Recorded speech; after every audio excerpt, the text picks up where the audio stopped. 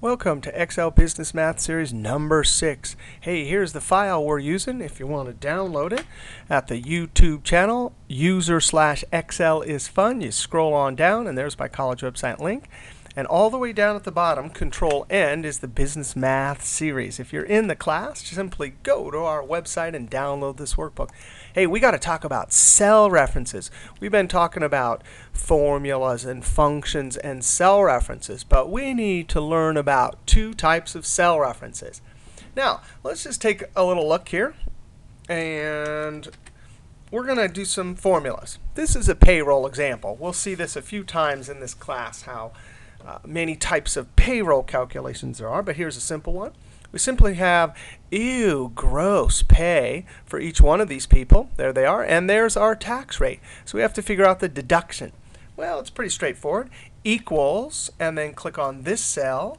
One cell to my left. See how the, the formula is here, and Joe's gross pay is directly to the left, times B16.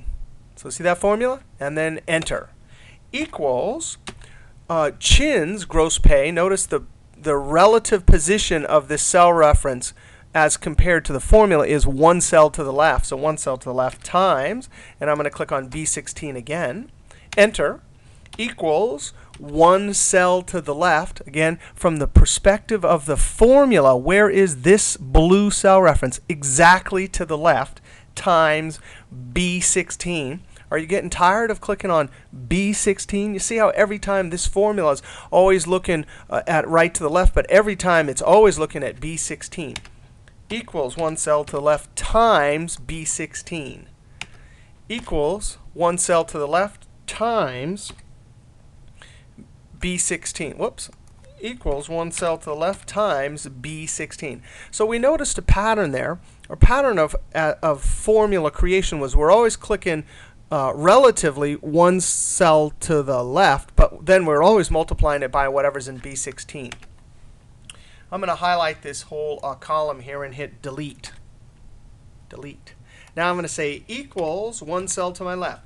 Now why do I keep calling that one cell to the left? Well, let me show you. This formula is not equals B9. Let me prove it to you. Control Enter. And then I want to copy this down, but I want to copy it down in a certain way. There's um, the highlighted cell with a formula, and you can see up in the formula bar there's a formula. But right there in the, the uh, corner is a little black box. This white cursor right here is a thick white selection cursor, so you can select, right? But what happens when you select this cell and hover it over that little box, which is called a fill handle? Whoa, you see that little crosshair. looks like a crosshair. I like to call it angry rabbit. If you click and drag, you're copying the formula.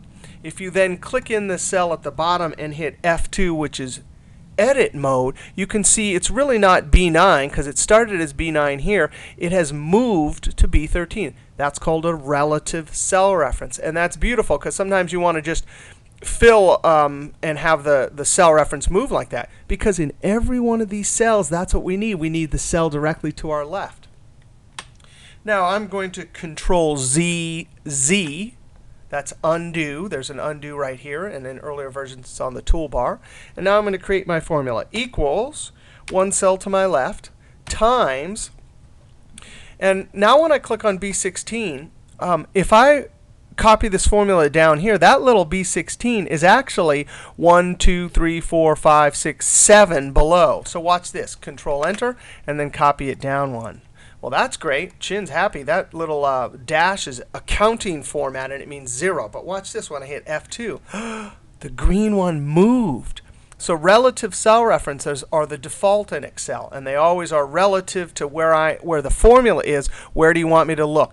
B17 is not B17. It's 1 to my left and 1, 2, 3, 4, 5, 6, 6 down. So I'm going to highlight these and delete. If only there was a way to lock the cell reference? Well, there is. Equals one cell to my left times. And when you click on B16, if you hit the F4 key, it will put the secret code in to lock B16. So let's try it. Hit the F4 key.